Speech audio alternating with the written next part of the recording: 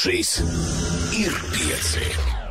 Esiet sveicināti, dāmas un kungi, 18. labirintā pēc kārtas. Man uzreiz jāatvainojas par šo nazālo skaņu jūsu ausīs. Te gan pie vainas nebūs mikrofons, bet gan mans deguna dobu miekaisums, tautā zināms kā iesnas.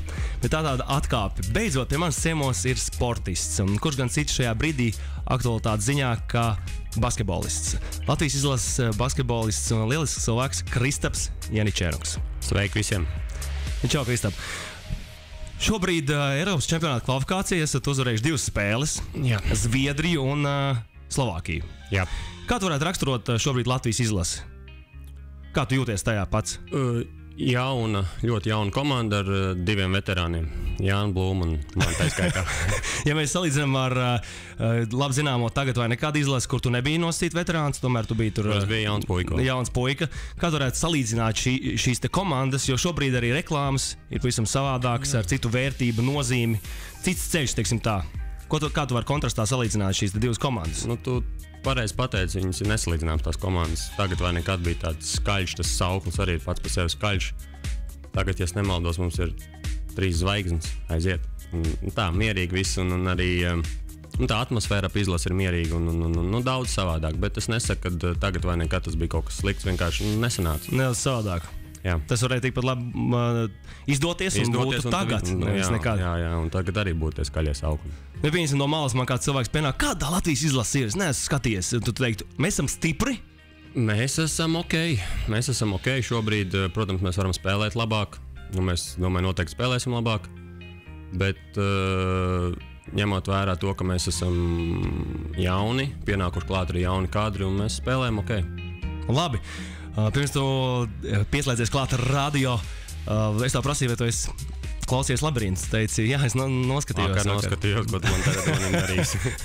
nu, labi, tad apmēram tu esi gatavs tam, kas tagad notiks. Varbūt tevis nemocīšu tik daudz kā cits, tomēr es labāk pazīstams man. Iesim iekšā labirintā. Pirmā, pirmais pārbaudījums ir personība. Uzzināsim par tevi vairāk. Šausmīgiem kā lodes, tu basketbols rēlnīgs būsi. Precīzi strābušs un neapturams ar trīspunktiem slavens kļūsi. Viltus pilns tu grozam draudi, tin aizsardzības vīrus mīklā. Pretinieka sāpes baudi, kad metiens atkal trāpā tīklā. Kristaps Janičēnoks, Befrīgas snaiperis. Jā! Yeah. Jā. Galīgs kudriņš uh, iet pa ķermeni dzirdot šo, šos vārdus. Kristap, tu esi kļuvis par ļoti labu basketbolistu. Tu esi līderis, tev ir šīs īpašības. Kas vispār, kā tu varētu definēt, uh, kas ir vajadzīgs, lai kļūtu par labu basketbolistu? Jo tev nav nenormāli, tur, teiksim, augsts lēciens vai supergaras rokas, vai tas garākais. tev, tev ir labs lēciens, bet, jā, jā. bet ne tāds kā Lebronam Džeimsam, teiksim tā, vai arī kaut kādam talantīgam, supertalantīgam spēlētājam. Kas ir tas, kas tomēr tev ļauj saukt par labu basketbolistu? Tā, kā lai tā īsumā visu apskaidro. Tas ir, tas ir darbs, tas ir ilglaicīgs darbs, un, ja tev nav tas augstais lēciens, man nav augsts lēciens, un tās garās rokas, tad ir kaut kas cits jāizmanto, kaut kas jāatrod sevī, kaut tāds, kas tev ir, un kas varbūt tam augstajam lēcējam un tam garajam rokām nav. Nu, tad tā Anta reklāmā teica par to metienu, tad varbūt man ir metiens. Un, uh, ir kaut kāda pieredze, ir uzkrāta pieredze, spēlēs vairākās valstīs ar dažādiem labiem, pret, pret dažādiem labiem spēlētājiem un ar labiem spēlētājiem. Tā, kā, nu, tā ir tā pieredze.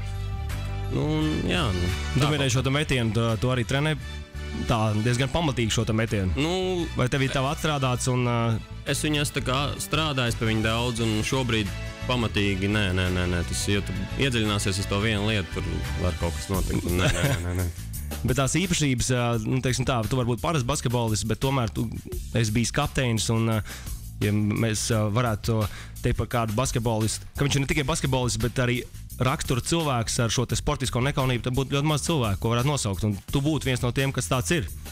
Tas ir tas cilvēks, kurš pēdējā sekundē var iemest šo metienu. Nu, jā, nu tā ir jā, tā sportiskā nekaunība. Ja tev nav tas lēciens un tās rokas, tad jābūt arī sportiskai nekaunībai. Un, un, un, un ja tev ir tas viss kopā, tad, tad, tad, tad tu esi Lebrons Džeims. Bet uh, man, diemžēl, tas nav. Un... Bet toties tev ir pārliecība. Ir, ir pārliecība, ir pārliecība. Ir arī dienas, kad nav tās pārliecības, bet uh, pie tā ir jāstrādā, ar sevi ir jāstrādā un jābūt padomdevējiem labiem treneriem, labiem draugiem. Tā. Kristap, divreiz dienā treniņš, ļoti daudz nometnes spēles. uh, Ko tu dari brīvajā laikā? Vispār maz cilvēku zina, ko tu varētu darīt, kādi ir tavi hobiji, intereses. uh, Nu, tā. Pirmkārt, brīvais laiks ļoti maz, un, un, un tagad, tagad izlases laikā viņa praktiski nav. Tad es mēģinu pavadīt viņu ar ģimeni, ar meitu, ar sievu. Nu, tad varbūt izrauties kaut kur, kad, kad, kad spinīgi kaut kur iemest. Kaut Un tā. zvejo, ja? Nu, pišķiņa. Balonē. Nu, Kādā balonā? Kur tu zvejo? Balonā nav kur zvejot, tur te kalni tikai. Nē, es zvejoju, es, nu, principā visur var zvejot. Var te, tepat daudz Jā, zvejot. tavs, Baltazarā, bet Tavs es top vietas. uz Latgali braucu. Uz Latvijas ceļa. Mm -hmm. Tu viens pats zvejo ar, ar, ar čomiem. Ar čomiem, ar tēti, ar tiem vietējiem čomiem. Tur kolorīts personības. Labi, bet zvejas tev ir vēl kaut kāda interese, kaut kādas varbūt nezinu, filmas, mūzika, varbūt tu krāj kuģīšus. Varbūt vēl kaut kas ir, kaut kas tāds. Uh, mūzika noteikti nē. Un, nē, nu man patīk mūzika, bet es neesmu nekāds melomāns. Jā. Man, man, ja tu man tagad liks dziesmas, tur atminēt, tad, tā, ne, tad, tad es būšu drausmīgs. Nē, es skatos filmas, bet noteikti ne tik daudz, cik tu. Tas mē, tā kā viss, tā kā viss. Nekas tāds īpašs man nav. Kuģīši nekolekcionē un pasmāks arī nē. Kristā 31 gads. Jā. Un šobrīd ir, tev ir līgums. Nē, nē, es esmu bez līguma šobrīd brīvais aģents. Brīvais aģents. Nu, par tuvāko nākotni varbūt uh, uzzināsim drīz, bet ko, ko tu sev redzi nākotnē? Tu varētu būt uh, basketbola treneris, uh, funkcionārs, uh, varbūt, uh, varētu būt skolas uh, direktors vai arī pavisam kaut kas cits, kur tu redzi Es sevi. mēģinu baigi par to nedomāt. Es mēģinu vairāk koncentrēties šobrīd uz to sportu. Un tad, kad, tad, kad beigšu, tad es domāšu. Bet, nu, protams, kaut kādas domas man ir un, un, un idejas ir, un, un, un, un arī maniem draugiem ir idejas. Bet uh, es tā baigi skaļi negribu par to teikt. Bet tā vīzija varētu būt uh, ar basketbolu saistīta vai tomēr uzņēmējdarbība kaut kas. Nezinu, jo basketbolu šobrīd es jau galīgi neredzu basketbolu treneru. Kā treneru galīgi neredzu. Uz basketbola skatuves tu neredzi sevi. Nu, šobrīd nē, bet es mm -hmm. nekad nesaku nekad. Tā kā tā. Vai arī nekad nesaki tagad vai nekad. Jā, vai tagad vai nekad. La- Labi, paldies, Kristap, par pirmo pārbaudījumu, kas it kā nav grūts, un arī pārējie nebūs grūti. Pagaidām Pa- vienkārši. Ejam tālāk un uzzināsim, cik daudz tu zini par basketbolu. Mm -hmm. Labi? Jā. Nu,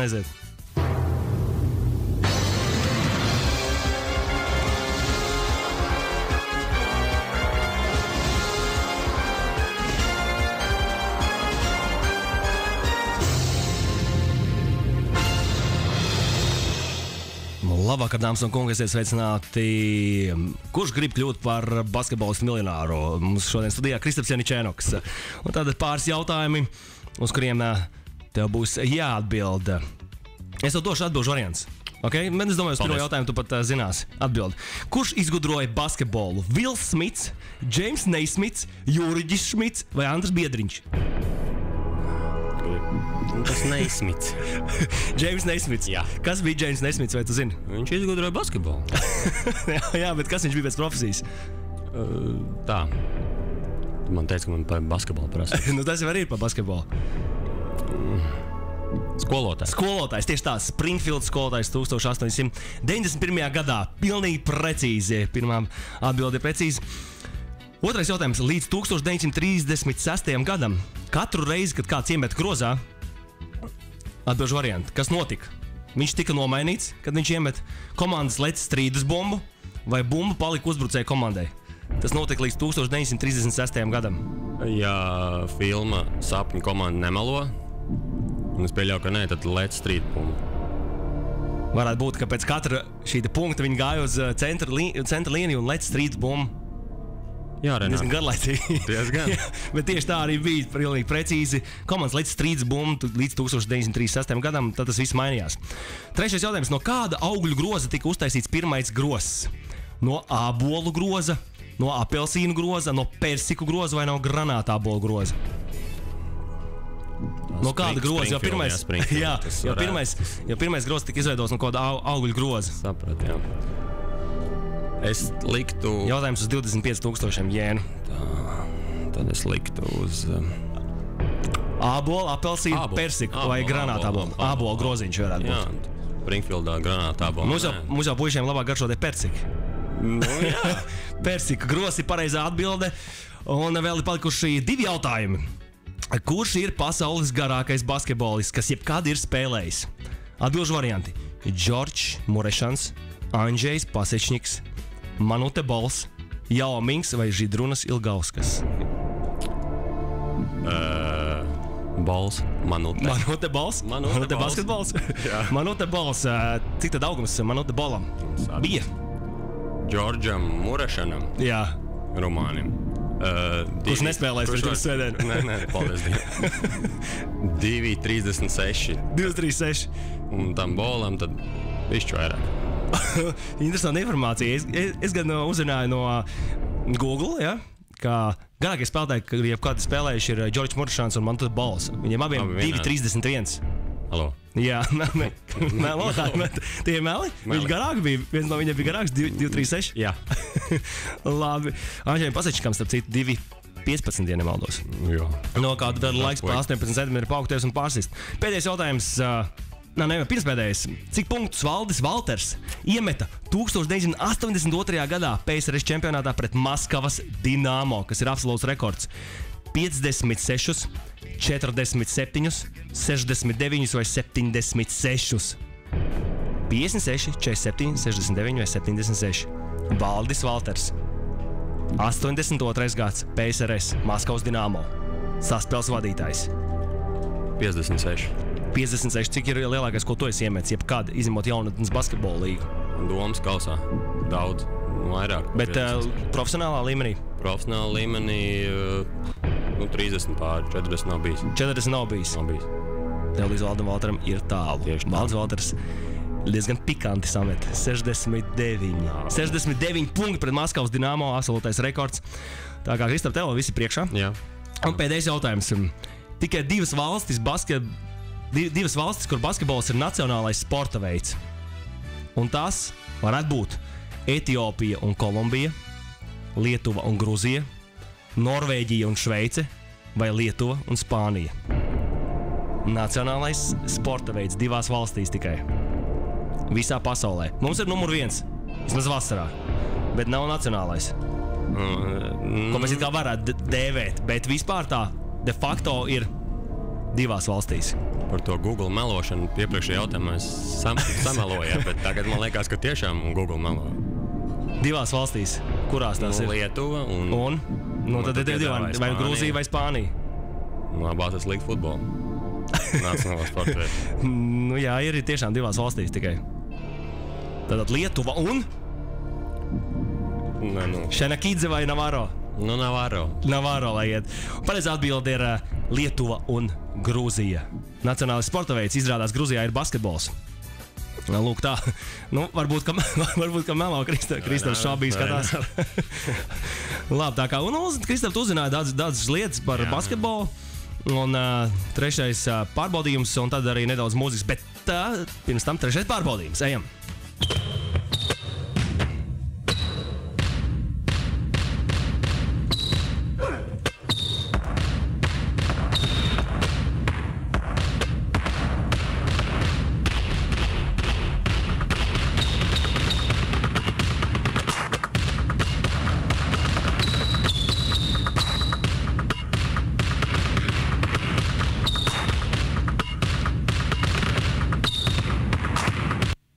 Aiziet! Tātad, es tev teikšu basketbola terminu, un tev ir jāsalīdzina ar cilvēku. Kas tavuprāt tas varētu būt? Labi? Jā, jebkur cilvēku. Nē, nu, negluži tev jāsaka vārds uzvārds, bet nu, tas būtu apmēram tā, ka, ja es teiktu, pieņemsim, sodiņš, tad tu teiktu, nu, tas varētu būt puika, 11 gadi kaut kur. Tā Ah, tā spēlējās, nu, nu, tā sapratu, tad trīs punktu metiens.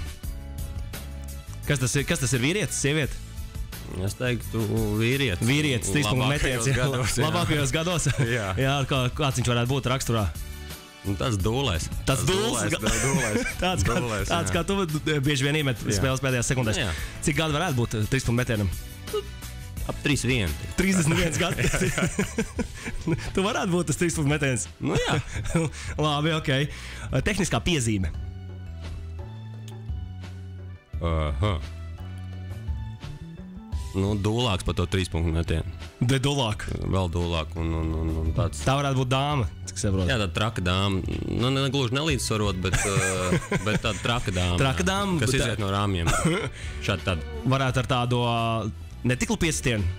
Vai tādu, nu, zin kā, Jā, otra tehniskā piezīme, saka, otra tā jau ir, jā, tā, tā, tāda ir netikls. Bet, eh, Cik gadu varētu būt tehniskajai piezīmei?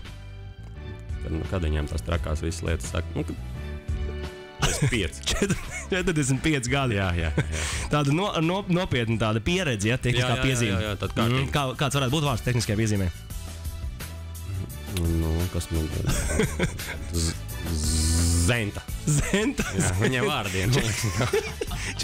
45 gadu zenta tehniskā piezīme. Nu, labi, Jā. tu, uh, parasti, kad tev, nu, kad ko pateiks, tad tev iedos zentiņu. Jā, Zenta. Agnēs Pērkons tiesnesis iedod zentiņu. Crossovers. Tie, kas varbūt nezina, bumbas pārnešana no vienas rokas uz otru. Uz otru. Jā, crossovers. Un Tas tāds jaunāks, tāds, tāds, tāds, tāds jaunāks. eh, Tas pusaudzis vai, vai, Nu. vai 20 ā, cik gadi? Nu, jau, jau, jau tā, ka saprot. Saprot, Saprot no dzīves kaut ko, jā. saprot. Nu, Viņam, teiksim, no 18 līdz 23 tāds 23 gadi. notetovējies. No, tāds, jā, tāds stilīgs. Nu, stilīgs, jā, jā. Galvenais notavējis kepons noteikti galvā. Kepons galvā, šorti mazliet nolaisti. Prātīgs vai, vai tomēr nedaudz? Viņš, viņš ir prātīgs, bet pamoļs. viņš, bet, viņš, bet viņš neizrāda to. Viņš grib būt tāds, tāds traks. un Viņš Jā, neizrāda, viņš neizrāda, bet prātīgs. jā, jā, jā. Jā, Bet un prātīgs. visiem ļoti patīk. jā, nu, tāds bad boys. Bad boys. Jā, jā. Nu, jā, bad boy patīk. Jā. Arī meitenēm. Rezultatīva piespēle. Nu, te ir kārtīgi tāds, meitene. tāds kārt, nu, nu, jā, meitene. meitene jā, tā, ir- tā varētu būt meitene, tāda kārtīga meitene, kas. Um, bet no otras puses. Rezultatīva piespēle. dalta. nu, labi, lai būtu kārtīga meitene. Jā, jā Pusaudzis meitene. jā. vārdā. Iedod vienu. Iedod me... Lienīte. Lienīt, iedod vienu lienīt man. Jā. Tas saka, Ilai Blūmam. Jā, iedod lienīt man. Ah, nē, nē, nē. Lienīt citādāk, citādāk tev iedo- iedos uh, zentiņu. Jā. Un slam dunk. Slam dunk. Nu, te jau varētu būt kaut kas tāds. Un tas ir kaut kas starp to, to trīs punktu metienu un to crossover. Slam dunk. Slam dunk nav tāds uh, nu, Nu, pirmām kārtām vīrs. vīrs, vīrs jaudīgs, tāds Jaudīgs, masīvs. Tāds traks, jā, tāds uh, arī iespējams notetovējies. Bet tāds viņš, viņš jau uh, tāds uh, jau tomēr vecāks ir. Jā, jā. Ve, mazliet vecāks. Nedaudz jā, jā, jā. senils, bet bet, bet tā- nav tik vecs tā kā tas trīs punktu metiens. Mm -hmm. metiens. Vārdā. Ma- Es nezinu, kāpēc man nāk Arvīts, bet, uh, Es arī nezinu, bet kāds, kāds, tev var, kāds tev nāk galvā vārds Slamdankam? Vai tomēr kaut kas stilīgāks un mūsdienīgāks? Nē, nē, Arvīts ir ok. Arvīts labs, Arvīts ir ok. viņam to- atmugurisku arvīdiņu. Jā, Apaņā ielē. Jā. Divroku arvīdiņš. jā Arvīts. Arvīts. Man patīk vārdi. Labi, trīs punktu metienam ir Kristaps, tehniskā piezīme Zentiņa. Crossovers, ne crossoveram nepateicām vārdu. Jā, crossovers varētu būt uh, nu, tagad tie modernie vārdi. Rajens. Rajans. Rajens. Nu, Rajan, nu, ļoti labs Rajans. Kristapam Janičēnam. Un, un jā, rezidūra piespēle mums bija Lienīta. Nu, un Arvīts. Jā. Lebronam jau te Arvīts sanāk. Jā. Pirmā zorta. Lūkosim, vai Kristaps Janičēnoks spēs iziet atlikušos četrus pārbaudījumus. Kristap, kas ir vieglāk? Spēlēt basketbolu vai nākt ciemos uz rādio, runāt, vai, teiksim, vadīt kaut kādas televīzijas raidījumus, vai būt tādā citā skatuvē? Man noteikti tas basketbols. Vieglāks ir. Bet tev ļoti labi izdodas. šis- Viss, ko tu dari. Nu, redz, katrs ir savā īstajā vietā. Jā. Es teiksim, nespēlēju tik labi. Lai arī jāatzīst, ka pašā pirmajā treniņā, kad mēs ar tevi tikāmies viens pret vienu, es, tā bija vienīgā reize, kad es tevi vinnēju. Jā? Un vairāk es arī tev neesmu, man liek- man liekas, Nē, vinnējis. nē, tu biji labs. Es atceros. Es atceros. ļoti labi piespēlēji. Kas tur bija piespēlēts? Ļoti labi arī man bija. Nu, tas arī man, laikam, ir mans trumps. Tev atkal labs Kristaps ir un uh, arī jaunības gados tev Arvīts padevās tīri neko. Nu, jā, nu, man Zētiņš jau to arī. netic, tāpēc tagad es, Jā, es arī nesaprotu. publiski to, ka man bija normāls arvīts. Kristapam Janičēnokam bija ļoti labs Arvīts. Paldies. Tiešām. Un arī tagad uh, es atceros, ka tu vienreiz izgāji vefiņā pret grozu un viss tā, ah, Kristaps jau vairs nevar arvīt. Jā, Hopiņā arvīts jā. sapsihojās un Jā. pierāda un pasmēdz tā ironiski tā atstiņām. ā, Bet, uh, jā, nu, es gribēju pieminēt, ka Zentis tev bieži sanāk. Ne bieži, nē. Bet tu esi tuvu tam, lai dabūtu zentu. Jā, bet es saprotu, Tu, tu notur to līniju, sarkanās līnijas novelc, lai nedabūtu tehnisko piezīmi. Nu Jā, redz, ceturtais pārbaudījums. eh, Parunāsim par, eh, par lielākoties par basketbolu, bet arī aizkulisēm eh, tā nopietnāk, mm, kas saucās taisnība.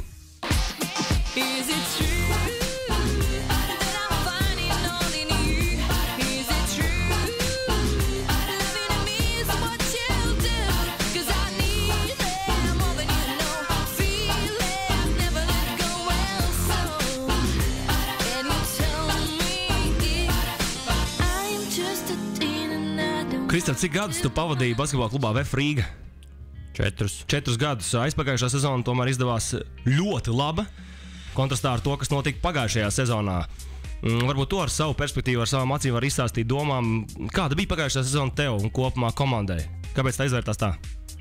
Nu, tāds, tāds, tā, tā, tāda viena lieta, ko es varētu pateikt, tāds nemazām nav, kas notika. Notika ļoti daudz lietas, un, un vienlaicīgi, un, un, un, un viena pēc otras. un Tāpēc um, tā grūti pateikt, ka, kāpēc tas viss notika tā, kā tas notika. Vairāk apstākļu sakritības dēļ vienkārši tā sezona bija tāda, kāda viņa bija. Un, un, un tur kaut ko vainot, treneris, spēlētājs, vadību vai, vai rādīt ar pirkstiem būtu ļoti grūti un īstenībā domāju, nekorekti šajā brīdī. Bet uh, mēs visi neizdarījām darbu pietiekami labi, un tāpēc tā sezona arī tāda bija. Jā, jāsaprot, ka tā notiek. Tā notiek sportā. un- Tas, nu, tas ir tā, nu, negluži laimes spēle, bet kaut kas tuvu tas nianses un detaļas, kas Jā, jā, saliekas jā, jā. kopā, vai tā sezona izdodas jā. Vai neizdodas. Ja vairāk spēlētāji aizbrauc prom, vēl kaut kādas nianses, kaut kādas aizkulisēs, uh, tieši tā kā tu teici, varbūt nekorekti runāt par to. Ja mēs skatāmies VF virzienā šajā sezonā, vai tu varētu palikt šajā klubā, vai tomēr nē? Es domāju, ka uh, nē. Pirmkārt, tāpēc, ka es nevienu neesmu runājis par to, un uh, es arī no preses saprotu, un arī nu, kā, ar kādu es runāju, tā neoficiāli, protams. Arī saprotu to, ka viņi grib uh, to komandu padarīt jaunāku, ar skatu nākotnē, un tas ir tikai vienīgi normāli, un tas arī ir, tā ir sporta praksa Latvijā, pasaulē, jebkur, un tas ir viss, viss ok. Šobrīd tev nav ne, neviens klubs padomā, kur tu varētu spēlēt nākamajā sezonā. Tev ir jāizver laba Eiropas čempiona kvalifikācija. Un Arī spiest uz to kvalifikāciju, tas tā, man liekas, tas, tas tā. Ne, tu vienkārši darīsi savu darbu, Jā, kā tu māki. Un, un uh, viss, jā, jā, jā, aizstāvēs tas- Latvijas godu, un tad jau redzēs. Tad jau tieši tā, tad redzēs. Un es arī pat negribu nekur tā baigi skriet. Ja ne, nav labs piedāvājums, Jā. nav laba komanda, tad man tiešām vēl gribās mazliet būt te. Jo tā iepriekšējā sezonā mazliet, um, mazliet vēl sēž iekšā, un es tiktu no viņas vaļā, es vēl gribu viņa tā mierīgi. Izlase ir, ir īstenībā labs veids, kā to, kā to izdarīt un izbaudīt to sportu un basketbolu un pilnās tribīnas arēnā arī, kas paldies Kas skatītājiem. protams. tiešām, paldies skatītājiem, kas beidzot ir piepildīts. Un, jā, viņi jums notic, un arī uzvars uh, Jā. ir šobrīd. Tā kā novēlam veiksmi. Kristap, visi mēs redzam, jūs iznākat laukumā, jūs spēlējat, tu- tur visi skatītāji to redz, citi sēž mājās pie televizoriem. Kas notiek ģērbtuvē? Ko jūs tur darat? Kaut Kā, ko kurš tur? Nu, teiksim, klubā lielākoties vai izlasē, ka treneris, jā, nu, treneris skaidrs, treneris tur stāsta, bet ka treneris nav. Kas tur notiekās tajā ģērbtuvē? Izstāst, tur ir kaut kādi joki, izāzēšanas, kā jūs kāds, kāds Nu, tur pirms, spēles, pirms līderīgs. spēles, pirms spēles domāju, ka tā izāzēšana tie joki ne, ir, protams, Bet pēc. bet pēc arī, arī nu, tā grūti pateikt. Tas Atkarīgs no spēles. Ir, ir, ir, tad, kad, nezinu, tur citā spēlē aprunā treneris, ģērbtuvē. Jā. Citā spēlē aprunā tur, es nezinu, tiesnešus vai, vai, vai vēl kaut ko, vai pasmējās, vai, ja, ja zaudēt spēli, tad vairāk, vairāk tā kā klusē. Tas ģērbtuvēs ir kaut kas interesants, tāds, ko mēs varam, kāds varbūt stāsts vai iznešana cauri, vai, vai kāds, kas saka, jauniešu valodā prikols. Prikols. Kāds piedūriens ir kaut kas tāds, kas tev nāk prātā, Nu, varbūt interesants. laiku, bet tagad man tā, kā, tā iedomāties uzreiz sitiem man baigi grūti. Es nezinu, ka treneris, teiksim, eh, šobrīd nerunāšu par treneru Bagatski. Bet runāšu par kādu citu. Jā. Es augšu vārdā. Nu, Labi. teiksim, viņš angļu valodā grib kaut ko pateikt. un, eh, un, un, un, un, un, un tas varbūt, eh, kā lai pasakā. Tas ir kaut kas līdzīgs tam Jāņa Tīmas klipiņam. Kas, kas tagad, kas tagad šērojās cirkulē- cirkulē, jā. Nu, kas tev viral? Un, un, un, tad, un tad viens nodur galvu. Paliek sarkans. Citam sākās ar stēcienu. Es saprotu, treneris mēģina nesmējās. Jā, Bet treneris turpina runāt. un Tad, nu, tad tā, tā, tā tas vairāk ir. Tas vairāk saistīts ar angļu valodu un, un, un, un, un problēmiņām. Kaut kāds. Bet tā, man tā grūti pateikt citiem tiešām. Ir jau, protams, kaut kāda tur joki vietēji. Un, un, un, ir bijis tā, varbūt, ka kāds spēlētājs kādu no masēriem pie galda ar skoču pieliek. Un, un tur jau tie dūlē tagad vai nekādi joki. Jā, nu, tādi arī bijuši. Jā, jā, jā. jā. Bet tie lielākie joki jau ir ārpus ģērbtos. Tās viesnīcas deg un viss. Jā, ugunskura visādi. un Tādā, visādi. tādā, es atceros vienu no saviem tādiem interesantākiem ģērbtuves uh, uh, jokiem, ka mēs pēc spēles ar komandu dodamies uz ģērbtuvu un uh, uzreiz nekavējoties es zvanu pretinieku komandas trenerim no savas ģērbtuves un pretinieku komanda atrodas blakus. Visi klusē, un es zvanu, prasu trenerim, kāda viņam gāja no pola patrocē vai no kāda portāla. un prasu, kā nospēlējāt pret, uh, pret to komandu. Viņi sāk stāstīt, jā, un kā gatavosies nākamajam mačam. Diezgan visu. Šis īstenībā ļoti labs. labs, vai ne? Jā. Beidzās, teiksim, Latvijas izlases spēle, jūs aiziet ģērbtuvē, un Jānis Blūms zvana Rumānijas trenerim Svētdien un prasa, viņš no, no kāda eiro portāla angliski prasa, kā nospēlēt. Kristap, cik, tev, cik liela bija tava pirmā alga? Es domāju, nu, tāda liela, maza vai cik, cik tas bija? Es atceros, es saņēmu kaut kādus tūlīt, 100 dolārus, ja nemaldos, aizgāju nopirkt Nike bots. Jā, par 100 Pirmo reizi. dolāriem tas nāk bots nopirkt. Jā, Jā, bet skatos galīgi neko nevar Tā dabūt par kaut 100 kā tas dolāriem. nevarētu nopirkt. Bet kāda bija tā pirmā alga un kurā komandā tā bija? Tā bija Onto.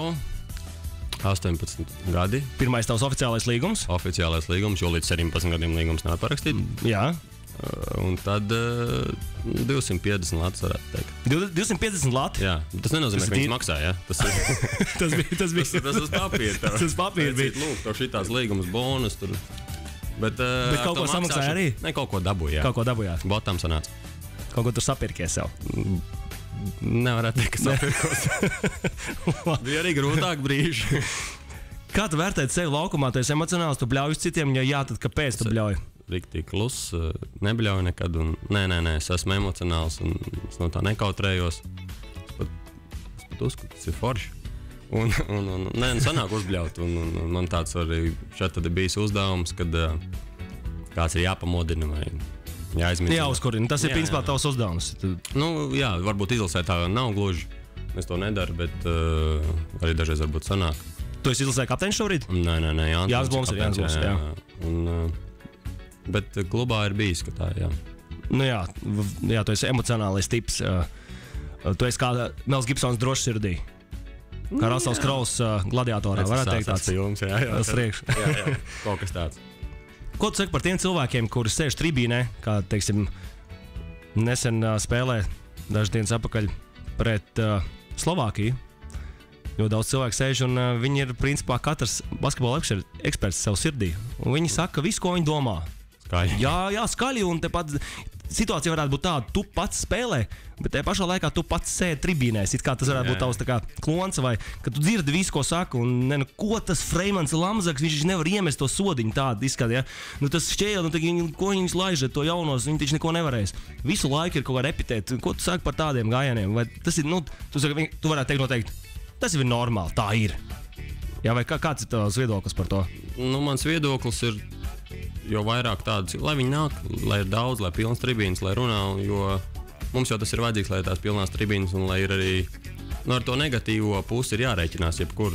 Lietuvā vispār ir tās teiciens, cik viņam tur 3 miljoni, komats 2. Jā. Un, un tik arī ir tie treneri viņam. Un, un, un, Ļoti labi. Jā, un Latvijā varbūt tā nav, bet uh, tuvu tam. un Tas nav tikai, tas nav tikai, es nezinu, tas nav tikai basketbols, tas ir kurā citā sporta veidā, un arī, nezinu, mākslā. Jā, nu, katrai medaļai ir divas puses. Jā, Jā, jā, jā. Jāpriecājas par to, ka viņi priecājās, ka jūs iemetat. Jā. pareizi. Jā, Ka jūs nu, iemetat labi, jā, aizmet garām. Nu, tad es, nu, jā, māmzaks, nu, Ko neko darīt. Jā. Protams, nav patīkami, bet uh, tas ir normāli. Tie komentāri. Tur tajos sporta jā. Nu, tas jau arī, ja tu tur iedziļināsies un lasīsi tu vari un nojukties. analizēsi, tad var Tieši, jā. nojukties. Tie- tieši tā. Bet super būtu, ja teiksim, tu aizietu pie tā vīrieša, kurš pieņemsim, varētu būt virpotājs, un ka, kamēr viņš strādā, tu maliņā sēdētu. Nu, kā tu virpo? Nu, ko tu tik lēni? Tu kā tāds lam, tā kā divplāksnis, bet tā kā pīles lēdz, tā kā ātrāk novirpo. Teiksim, tāda situācija. Pēdējais. Tavs ideālais basketbola desmitnieks. Pieci spēlētāji no Latvijas un pieci no NBA. Ar ko tu gribētu kopā uzspēlēt? Ar Lebronu. Lebrons. Tā, Sākam ar NBA, NBA. Lebrons. Jā. Lebrons, Deivids Robinsons, Jā, labi. Nu, Centra spēlētājs. Jā. savādāk. jā, jā, tāds admirāls. Reģijs Millers, Mm -hmm. Balto vajag, Balto vajag. Uh, Le- Larijs Bērts. Larijs Bērts. Jā, jā. Labi. Un piektais. Pagad man bija trīs, tagad, tagad četri, jā. Četri ir. Jā. Paspēles vadīja Stīvs Nešs. Stīvs Nešs. Šāds te piecinieks. Ļoti labi. Jā. Un latvieši. Latvieši ar jebkurā laikā tu vari teleportēties un darboties. Ar ko tu gribētu kopā uzspēlēt? Es viņiem esmu arī Jā, jā, jā, jā, protams. Tavs ideālais piecinieks, teiksim tā. apakšā. nu, Centra pozīcijā. Jā. Andris Biedriņš, O, kas par Bērziņš, jā, kā ceturtais. Ceturtais, uh, trešais. Tad viņi apvainosies. Mm, Nu, nē, tas jau tā jāpaņem fantazējās. jaunais, jāpaņem jaunais eh, Dāvis eh, Bērtāns. Dāvis Bērtāns. Bērtāna dinastija un vēl Bērtāna divi. dinastija, jāpaņem no Valtera dinastijas. Tagad, eh, teiksim, Kristaps. Kristap Valters. ņemtu, jā, saspēle un pēdējais. Ā, a, kur es? Nu, tu būtu kā rezervējis. tu esi rezervējis Labi, bet tev, tev piecinieks Armands jāizvēlas. Šķēle. Armands Šķēle. Super desmitnieks un treneris šai te visai brigādei ir. Kur tu gribētu redzēt kā treneris? Tu vari izvēlēties jebkuru, vai tas ir Etiopijas, Norvēģijas vai, vai Francūzs vai Latvijas. Tavs, šai tavs treneris varētu šai brigādē, kurš saldītu visus šos spēlētājus. Lai ģērbtē būtu interesanti, vai, vai, lai uz Tu laukuma būtu kārtība. tu vari ņemt divus, vienu treneru, vienu treneru palīgu. Tā palīgs Nenas Traikovičs. Un, nu, Serbs. Jā. Serbs Nenas Traikovičs. Jā, Un Nenas Traikovičs. Un, un, un, un, un, un, un. Nu, galvenais treneris. Uh, lai paliek Arnēs Bagātskis. Nē, Bagātskis. Paldies, tev, Lielas Kristap. Jā. Labi, mēs dodamies tālāk. Piektais lamu vārdi. Pick it up, you prick! You fucking retarded, ugly, spotty twat face! Pick up your phone now! You can ignore me as much as you want, but I won't fucking go away until you answer your fucking phone, you tosser! La la la la la la la la la la la la la la Your fucking phone is ringing. I know a song that'll get on your nerves, get on your nerves, get on your nerves. I know a song that'll get on your nerves, get on your nerves, you cunt. I fucked your mum, I fucked your mum, I fucked your mum and dad. I fucked your mum, I fucked your mum, I fucked your mum and dad. Yeah, how'd you like them fucking apples, you total fucking. Kristap, tomēr li- laba sastāvdaļa ir ā, nu, tā, tā kā dusmošanās par epizodēm, kas varētu būt uh, nosilptas ne tā, kā varbūt uh, no tavas skatu punkta liekas. Jā, Tad parasti izskan kaut kāda vārda. Bet, uh, ja tu lamātos latviešu, tev nevarētu iedot tehnisko piezīmi, jo nu, viņš nemaz nesaprast tiesnesis, kas tas īsti ir. Es domāju, ja tu spēlē, teiksim, Latvijas līgā. Jā, Latvijas tiesnesis tiesā. tiesā. Tātad pie, piemērs varētu būt tāds pleksders. Pleksders ir dzērājs un žūpa. Uh -huh. un tā, es tev teikšu vārdu, un tev jāpasaka, kā tu domā, kas tas ir. Jā. Ja? Kā tu domā, kas ir teļa taukums? Tu varētu komandā pateikt, teļa taukums. Tas, mm, man kaut kā tas. jā, nu, tā kā, kas tas varētu būt? Nē, ne, ne, ne cilvēks vārds, bet kas tas varētu būt? resns, resns Kaut cilvēks. kāds resns cilvēks. Īsumā tas ir Teļa taukums ir gļēvuls. Jā, nu, ja viņš nevar iemest tad, ā, pēdējā sekundē, tad nu, teļa taukums. Teļa taukums. Jā, žļēmeklis. Žļēmeklis, kas varētu būt? Nu, tāds tā kā īpašības. Žļēmeklis. Tāds, tāds, tāds, tāds, tāds slidens. Slidens cilvēks, tāds, viņš tāds, slidens, jā, jā. tāds, tā, nu, tāds Jā. slidens. Tāds. Nevar saprast. Īstenībā tas ir. Viņš ir lempīgs, tūlīgs, lēns. Kurš jums komandā ir tāds le- lempīgs? Žļēmeklis, kurš tur ir? Bērns, tas ir žēmeklis. bērns, bērns, nu, ja tu spēlēsi pret Rumāniju kā žļēmeklis, nekas nesanāks. Dādiņš. Dādiņš. Dādiņš, ja? Dādiņš, jā. Uz ko tu varētu pateikt? Nu, tu esi pilnīgs dādiņš. Nu, Kristaps Valters. Kristians Valters būt Tāds, dādiņš. jā. Dādiņš ir muļķis un stops. Ah, nu, jā, viņš sapratīs. Labi, par kambalu nepateikt. Dādiņš, labi, izdibens. Kas, kas varētu būt izdibens? Pretējs bezdibenim. Bezdibeniem varētu būt, jā. Izdibens ir sliņķis. Tu esi sliņķis, tu esi izdibens. Nē. Nu, basketbolā tu nevari būt izdibens. Nekas nesanāks. grūti, grūti, Jā, jāskrien, jādarbojas. Izdibeņiem. Vispār dzīvē grūti izdibeņiem. Izdibeņiem, izdibeņiem nav labi. Žagargails. Vienā. Jums komandā varētu būt kāds žagargails. Tāds Un Tāds nerātnēls. Nerātnēls. Nerātnēls. Tā kā slikts puika. nu, slikts puisis, tāds nerātnēls. Nu, negluži. Viņš tāds lielīgs un plātīgs. Tāds nedaudz vīzdegunīgs.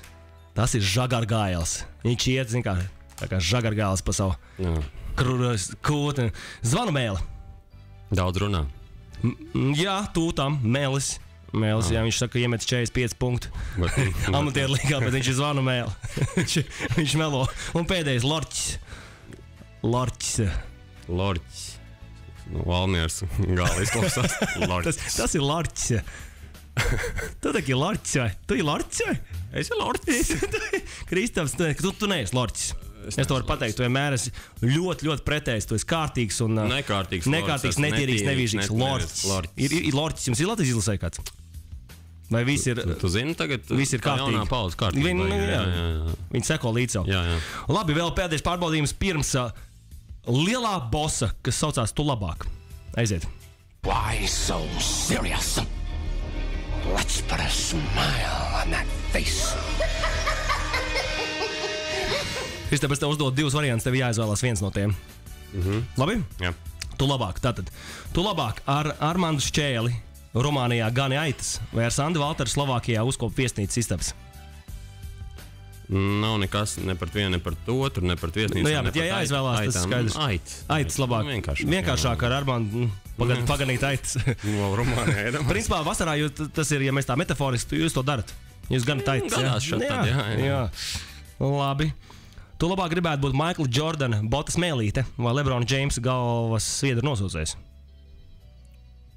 Abi divi saistīti ar sviedriem. Jebkurā gadījumā. Nu, tad uh, tā mēlīte bots. Botas Mēlīte, Maiklam mm. Jordanam. jā, jā. labāk Maikls patīk vienkārši vai, vai Nē, mazāk nē, varētu nē, būt. nē, Mazāk sviedra tur varētu būt. Nu, jā, jo Īstenībā- Lebrons lieto šo te galvu vienmēr, jo viņam Vienmēr. mati atkāpjas. Nopietni atkāpjas. Jā, Tad, uh, jā, nu, mēlīte. Bet uh, Lebrons man tā kā vairāk patīk īstenībā par jā? Jordanu. jā. A, kāpēc? Neņem, kad tu apsūdzies, tu, uh, tu visu laiku ap, nu, būtu tā kā ar viņu kopā. Galvā būtu, jā, galvā viņam slapjš. Redzēt, kā matā atkāpjas uz leju. Bet tu būtu arī liecinieks tam, kā tiek izcīnīta čempionu titulu. No, Tā. a, a, Maikla gadījumā. Manā gadījumā, man jā. vispār, Ja nu viņš noņem botus un noliek, un, No, jā, nu, vakar- ā, tu arī vari un jā. sviedra nav, un tad viss. Tu labāk gribētu būt elektriķis Aigars no Baltazara ar pareģa spējām vai zooloģiskā dārza apkopējs Dimitrijs no Minskas, kurš sarunājas ar sargeņģeļiem. Aigars, protams, Aigars. Aigars no Elektriķis. kuram ir pareģa spējas, Jā. elektriķis. Jā. Ja viņš ir dabūjis ar elektrību diezgan nopietni. Jā, tad viņš uzreiz visu redz. Bet no Minskas tu negribētu būt zooloģiskā dārza apkopējs Dimitrijs, kuram ir, kurš sarunājas ar sargeņģeļiem. Nu, nē, nu, nē, nē. Pārāk sarežģīti Minska arī Baltkrievijā. Minska, Baltkrievija, tā. Mm, nepatīk. Mm, Nē, nu kā nu- nepatīk. Nu. Es jā? izvēlos. jā. Es Rīgu Iz, izvēlos. labāk. Baltazars. Nu, Baltazarā jā. Nav jau teiks, ka tu dzīvo tur Baltazarā mājā. Tu jau no kāda būdiņā dzīvo elektriķis. Nu, jā. Bet ļoti labs elektriķis. Nu, ja viņam ir jebkurā paredz spējas, viņš paredz, viņš iet uz kazino paredz visu.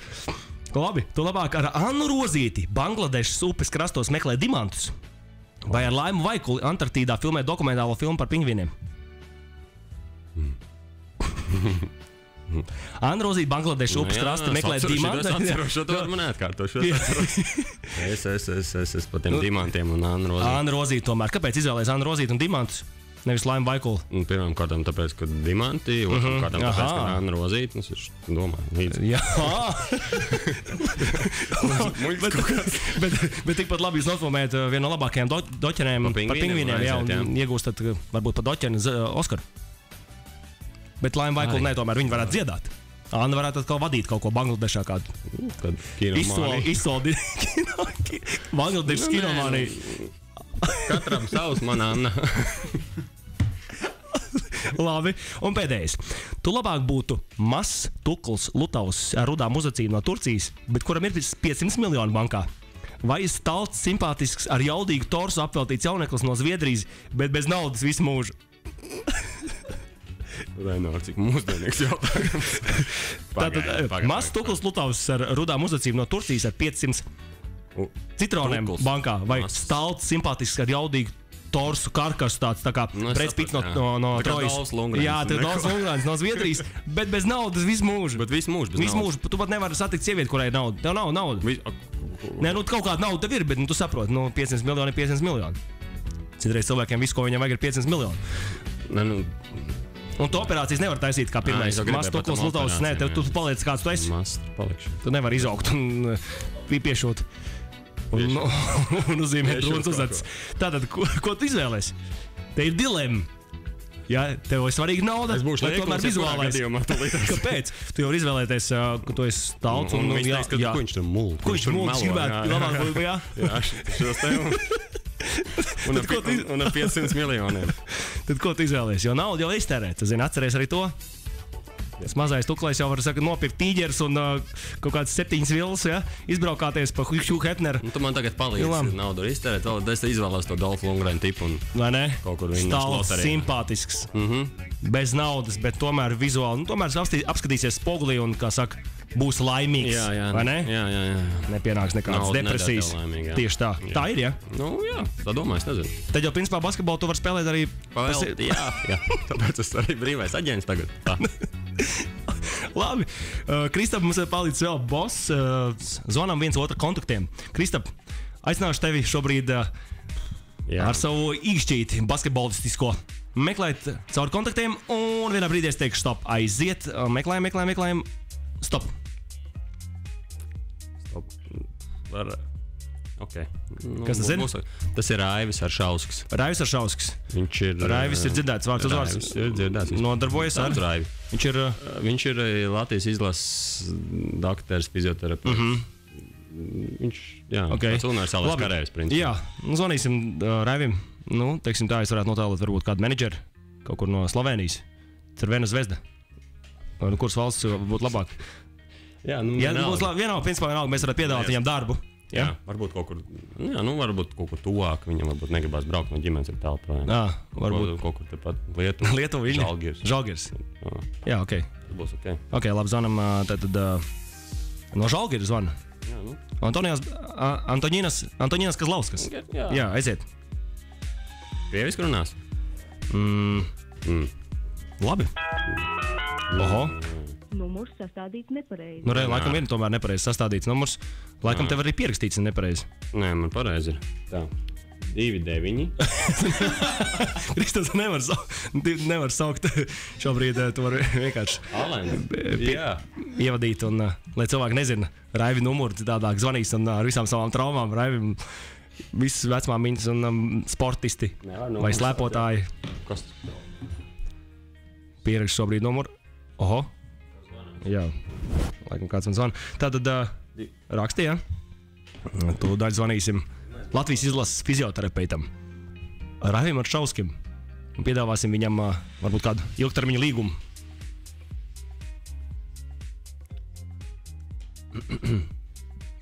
Tad mūzika var noslēgt nost.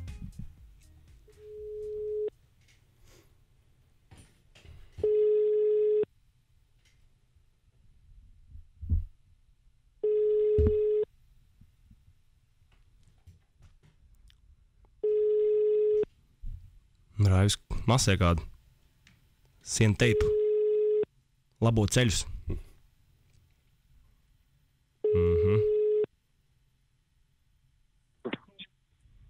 Atnes честно. Алло, Алло. Добрый, Да, слушаю. до- добрый день, это Райвис Аршовскис? да, Э, Здравствуйте, Антонинас Козловскас э, из Вильнюса клуба. Летовас Ритас. Да, да. Летовас Ритас. У меня да, вот... Да, да, мы знаем, что вы хороший этот, ну, физиотерапевт, э, доктор. Э, мы хотели бы, да, да, чтобы да. Э, какой-то контракт сделать с вами. Просто видели, что Латвия сборная, сборная э, играли вы и хотели такой контракт, как бы. Можете приехать к нам. Куда? Это Летовас Ритас? Да. Антонина Козловская, вот. менеджерс. Да, да, да, да, да, да, да, да, я, я слушаю вас. Да, А, давайте- хотели, да. хотели э, контракт поговорить, может, может, э, не знаю, три, три года. Хор- Хорошо, тогда давайте сделаем так. Тогда как, как мы можем сделать, когда мы можем встретиться тогда? Ну, вообще, я приезжаю в Ригу завтра. Завтра вы приезжаете в Ригу? Да, ну, а, нас- просто может, суббота. может я по телефону могу сказать эту сумму. Это, Ну, скажите. это сумма, да, это 300 евро в месяц. Сколько? 300 евро каждый день, 300 евро каждый день. да. 300 евро каждый день. Хорошо, я, а, давайте сделаем так. Завтра во сколько вы можете приехать ко мне? В 7 утра. Алло. Алло. 7, алло, в 7, в 7 утра я приезжаю в Ригу. Се- э, 7 утра вы приезжаете в Ригу, тогда сделаем так, тогда мы можем... В 7 утра вы будете в Ригу. Так, где мы можем встретиться? Где у вас удобнее встретиться? Алло. Алло. А, да, что-то попало. В бане можем. Где? В бане. üks aga Raiv, Raivis vanak never notaret ja siis Kristof see oli Tšernok, siis ma, Kristof see oli Tšernok, siis ma Briti sees.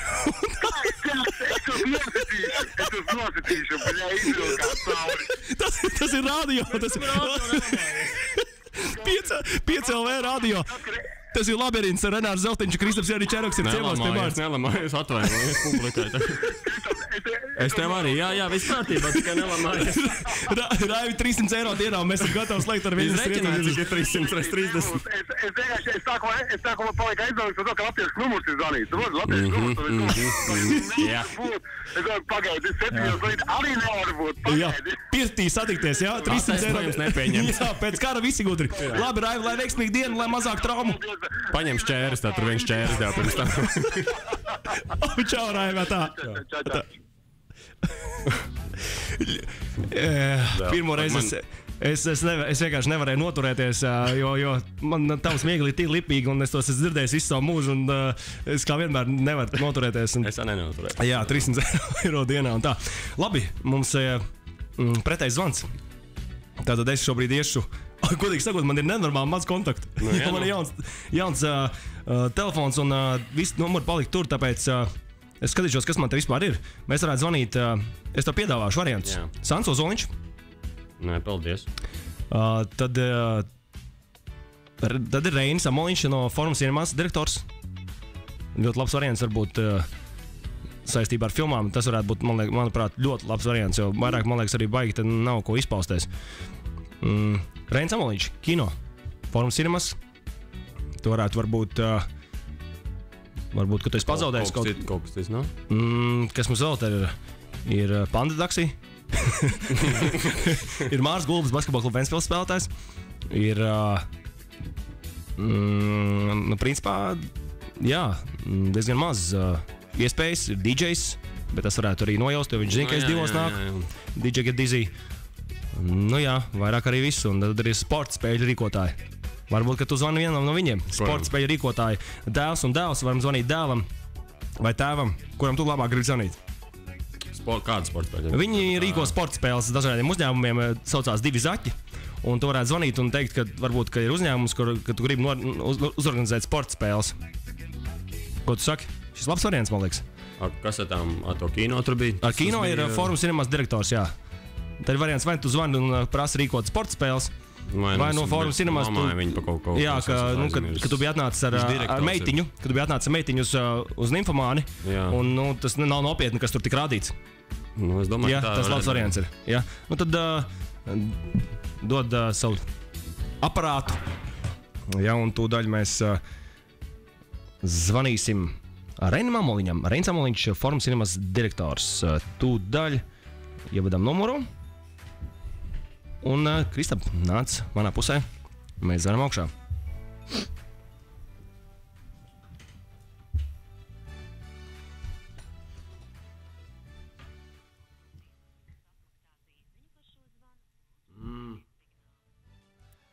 Nu, re, tomēr tev būs jāzvanā, tev būs jāzvanā par sporta spēlēm. Es domāju, ka tu vari zvanīt un teikt, ka, ka sporta spēles tu gribētu uzrīkot, kas jū- jūsu uzņēmums ir kaut kāds.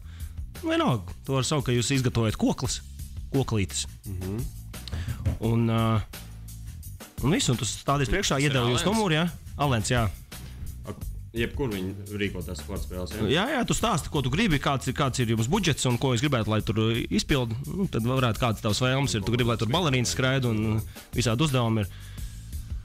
Nu, tā apmēram. Jā, nu, tu varbūt, mm -hmm. kā laukumā jāimprovizē, ātri jāpieņem lēmumu, tad tu mēģināsi Alens sauc, ja? Ja gadījumā savienos, tad.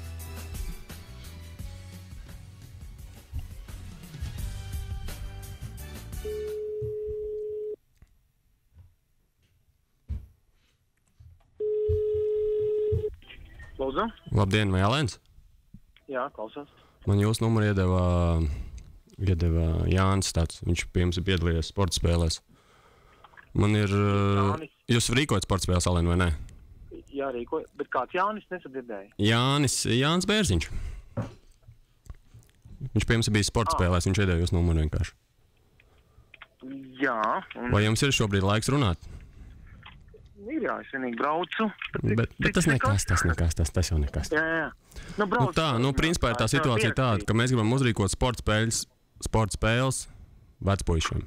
Mums būs vecpuišu ballīte, un mēs gribam uh, sporta spēles gaiziņu pakājai kaut kur. Lai tur pirtiņi kaut kādi ir, un, un, un, un, un, un, un, un būs meitenes tur tikpat daudz, cik tā puiši, un, un kaut kādas, kaut kādas, kaut kādas sportiņas arī varbūt varat izdomāt saistībā ar to visu. Jā, un kas, kas tas ir mēs, lai saprastu to? Ap- Nu, mēs esam aptuveni kaut kādi, nu, Nu, nu, es vēl padomāšu, tā, tā, tā 12, eh, 15 cilvēki, 15 vīrieši.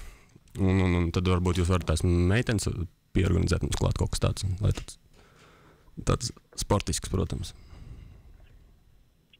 Tā, ka, tas, Vai jūs ar tas- tādām, jo tas ir budžets, privāts budžets, bet tas, tas ir uzņēmums? privāts, tas ir privāts, un, un, un lai tas paliek arī privāti, budžets ir, ir liels, un jūs varat izdomāt pats, kā tur kas, un tas ir tas nopietnas kā cilvēks precēsies. Jā. Maļķīšņiks būtībā. Nu, da, da, da. Jā, man šī išņiks. Ko- Bet uh, vajag to gaiziņu piekāju kaut kur tur netālu no Gaiziņu gaiziņa, jo čaliem daudz, daudz, daudz uh, atmiņas ar to gaiziņu. un Tā. Un kad? Nu, principā, principā, principā pēc kaut kādas nedēļas vajadzētu. Es zinu, ka tas ir grūti, bet, uh, bet mums vienkārši viss ir at, at, atkrīt vairāk variantu, un tāpēc, tāpēc es zvanu. un Tāpēc arī tas budžets varētu būt lielāks nekā pirms tam. Ka ja es labi pacenstos. 20. Nu, principā 15 cilvēki, 15, 15 vīrieši, 15 meitenes. Un, un tas ir 30 kopā. un Tad, tad tā. 23. Nu tā būtībā sestdienā vai kā? Vai, vai tas vēl nav tā kā precīzi? Nu, princi, principā vajadzētu weekendā, jā. Bet mums tas izmisums ir tik liels, ka uh, mums ir viena alga, kad tik, kad tik, kad tik, kad tik tās meitenes un kad tik tas sportiņš. Vai jūs ar tādām lietām nenodarbojaties? Vai jūs varat tā, nu, vienkārši iedot, ka jūs esat tāds, Jebkāds uh, tāds, tāds, tāds, nu, tāds, Jā, jā. nu, jebko, jā, jā. par jebko. Tā man teica.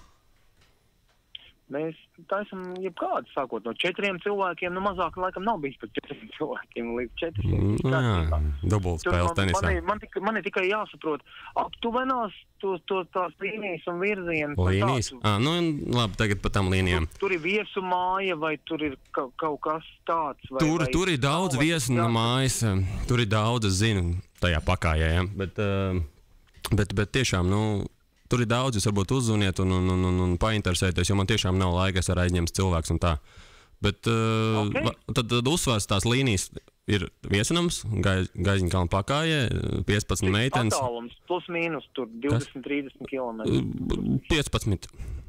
Okay. Un un meitenes, meitenes jums jādabū tās 15 meitenes, jo mums tiešām ir nav vairs laika. Tad, tad meitenes mums ir jādabū. Jā, Jā? jā, jā. jā. Kaut kādas ierobežojumus. Meitenēm? Ja, nu, Jā. nu, mēs jauni puikas, mums, mums, mums nu, cik nu jauni, bet uh, Vidējais. nu, vidējais. Nu, tādas, tādas ierobežojums uz ko? Nu, tātad, nu, tur, tur 25, nu, gadi, nu, kaut kāda. Ah, meitenēm? Nē, nu, jā, jā, jā. Nu, es saku, lai sportisks meitenes būtu, lai varētu turēt līdzi mūsu sportam. Jā. Tad ci- cik ilgi, no cikiem līdz cikiem? Meitenes no cikiem līdz cikiem vai vispār? nē, nē, nē. nē. Nu, vajadzētu, vajad, vajadzētu pasākumam būt kaut kādas 36 stundas. 36. Ar, ar nakts mājām, protams, jā. Sestdienas rīts, svētdienas. Svētdienas pusdienas. uh, pusdienlaiks, jā. Labi, visādi sēšanas un lietas. Jebko, Alen, Alen, Alen, Alen, jebko, dari, jebko improvizē, dari kā galvenais, Okay. lai vecpuisis priecīgs. Nu, man Labi, šņiks izdevies. Ar saku, 23. 30. ar der. Nu, der, der, viss der. Uh, 30, nu, vienalga, mums tiešām ir izmisums un, un vispār nav laika vairāk arī īstenībā. Skaidrs, kaut kāds mails var atsūtīt e-pastu uz, uz mani no šito te numuru. Klausies, es tev ātri iedošu tūlīt tās vecpuisis. Nu, kurš, kurš, ir, kurš, kurš ir ar maniem un arī mašīnā brauc tagad, un viņš ir blakus sēž. un Viņam ir Iedosi tā kaut kāda ko? daža. Nu, vecpuisis, kas tas ir galvenais, tas vaininieks, kāpēc mēs tās gribam Ā, to sportu. Labi, labi, jā. Es Jā, tev tagad dodu viņam. jā, labi. Mm, halo! Jā, jā, Halo. klausos, Alens. Uh, čau, čau, čau, čau! čau. Jā, Jā, nu tad, tad īstais vecpuisis varētu būt Esalens. Tas ir Renārs Ok. okay. Zeltiņš. Tas ir, la, tas ir labirints, 5LV. Un Kristaps Janičēnoks bija, manis bija studijā. Un tā kā man tik ļoti maz jaunajā telefonā ir numuri, tad, uh, Alen, tu biji vienīgais, var teikt, kam varēja piezvanīt. Un Kristaps Janičēnoks uzrīko ballīti. Pagad, es, es runāju līdz šim ar Kristapienu Čēnu. Jā, tas bija Kristaps Nē, es to Janičēnoks. neasociēju. Tas, varot, tas ir viens, viens met grozā, viens man zvana pa ballīti. Tas ir, tas ir Kristaps Janičēnoks, kurš mēģināja sarunāt ballīti. Tas ir joku zvans. Un uh, tā kā ballīti atceļās. šāda balīta nebūs. Bet paldies par to, ka tu varēji dabūt tās meitenes. Tagad es zināšu, ka tu uzņēmi- ka tu ka tu uzņēmies uzņēmies to uzņēmies par tiem parametriem. Nu, par cilvēkiem vajag jebko, nu, ko, ko, nu. Ļoti labi, ļoti labi. Bet Tā kā- bija apmēram jāuzrīko balīti, bet gandrīz nekas nav skaidrs. Gandrīz, Gandrīz nekas, bet nu, galvenais, ka meitenes ir un gaisiņa pakāja. Jā. Paldies, Alен, lai tev veiksmīga diena un šis te Bet viss būs. man, kāpēc jūs man zvanījāt? Tas galvenais motīvs ir tāds. Galvenais motīvs ir kādu izjokot, kur tu telefonā izvēlējies vienu no kontaktiem. Un izvēlējāmies tevi. Jā, man ļoti, man kādi pieci numuri bija tikai. A, a, vēl, vēl viņš skanēja varbūt kaut kādā rāģiņā vai kaut Un tas kur- jau ir rāģiņā. Tas Alen, ir 5 Alen, LV Alen, tiešraidē. Tu tagad esi tieši Ā, mēs esam tieši redzējuši. Mēs esam tiešraidē, jā. Tāpēc mums jābeidz un jādodas tālāk. Paldies, Alen. Šis būs labi, būs arī YouTube ok, jā. kanālā iekšā, tā kā varēs noskatīties. Jā, čau, čau, čau. čau. Paldies, Lielas Kristē, par šo zvanu. Paldies, es domāju, paldies, ka ļoti laba balīdze varētu izvērsties. Bet kopumā lielais paldies, ka atradāt laiku atnākt starp treniņiem pie manas ciemos. Es novēlu jums veiksmi svētdienas spēlē pret uh, Rumāniju. Aicināšu visus, visus, visus doties uz arēnu Rīgā vakarā svētdien, atbalstīt Kristapu un visu Latvijas izlases komandu. Novēlu veiksmi arī atlikušajās spēlēs kvalifikācijām. Protams, arī fināla turnīrā, jo es nekur citur kā finālā jūs neredzu. Jā, paldies. Labi? Paldies, paldies. Paldies, vēl Kristap. Labrīns pēc nedēļas. Uh, Klausies 5 LV.